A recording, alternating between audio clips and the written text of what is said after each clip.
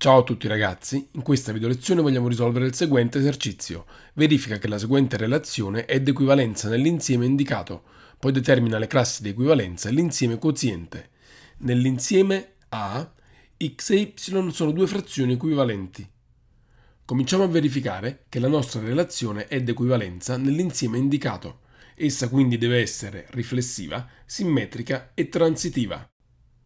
Una relazione è riflessiva in un insieme A se ogni elemento di A è in relazione con se stesso.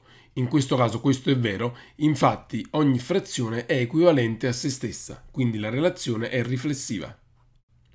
Essa è anche simmetrica, infatti se x è in relazione con y, anche y è in relazione con x. Quindi questo vuol dire che il fatto che x sia equivalente ad y implica che anche y è equivalente ad x. Infine la relazione è anche transitiva perché se x è in relazione con y ed y è in relazione con z, anche x è in relazione con z.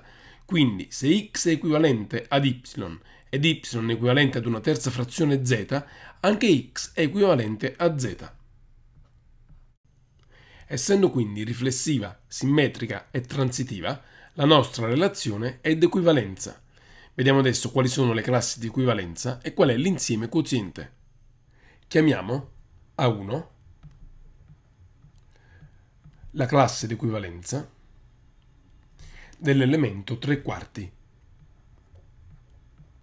Questo è l'insieme degli elementi di A che sono in relazione con 3 quarti tramite R, quindi 3 quarti e 9 dodicesimi, che è una frazione equivalente a 3 quarti. Chiamiamo A2 la classe di equivalenza dell'elemento 7 quinti.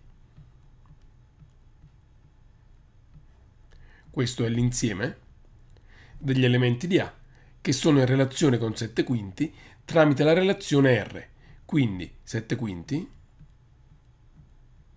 e 49 35 che è una frazione equivalente a 7 quinti. Chiamiamo ancora A3 la classe di equivalenza dell'elemento 5 settimi. Questo è l'insieme formato dagli elementi di A che sono in relazione con l'elemento 5 settimi tramite la relazione R, quindi 5 settimi e 15 ventunesimi, che è una frazione equivalente a 5 settimi. Infine chiamiamo A4 la classe di equivalenza dell'ultimo elemento rimasto, 25 quarantanovesimi,